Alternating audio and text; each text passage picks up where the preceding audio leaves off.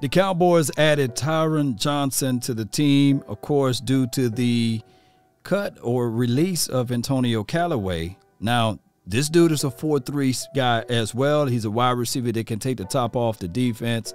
We all know him from OSU. Now, when I say this dude can take the top off the defense, he can do just that. Now, he's not a great route runner, but he is a guy that can that can burn and get upfield. And hopefully we can see in the speed that he possessed, the 4-3 speed, and see if he can be that guy to help this team out. Now he's six foot one, he weighs about 195 pounds, and that's what he's gonna do. He's here to stretch the field and see if he can make this team. And hopefully he will be that guy.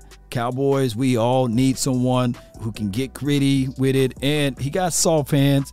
He's not afraid to uh, reach out and grab it with his hands and and be that guy that can find the soft spots in the short areas of the field. And he tends to reach out and grab the ball with his hands.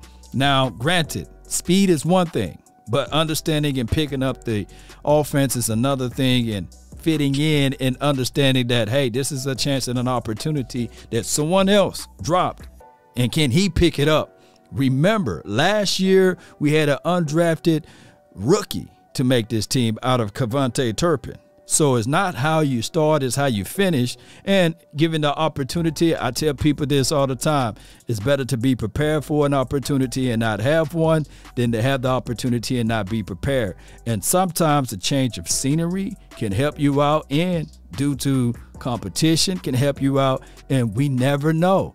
Maybe Tyron can learn from Brandin Cooks who is similar with his speed and everything else like that. So this will be a good situation for him. Hopefully, he will not drop the ball like Antonio Callaway. Post me your thoughts, post me your concerns down below. That's been my time.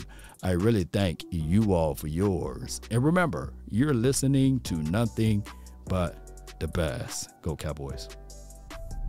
The highlight of the day, though, came from wideout Tyron Johnson, who ran his 40 in 4.34 seconds.